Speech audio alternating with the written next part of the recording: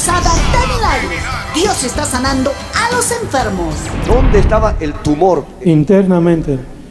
Cuando me tocaba me dolía, miraba atrás como borracho andaba. Cuando aquí hemos gritado poder de Dios, me ha tocado, ya no había dolor, nada aquí adentro. Todo me ha sanado. ¡Sanito! Dele un aplauso a Jesucristo. ¿Y sabes dónde están ocurriendo estos milagros? En la carpa del poder de Dios. Ex estación central de ferrocarriles. Ven y recibe tu milagro porque nada es imposible para Dios.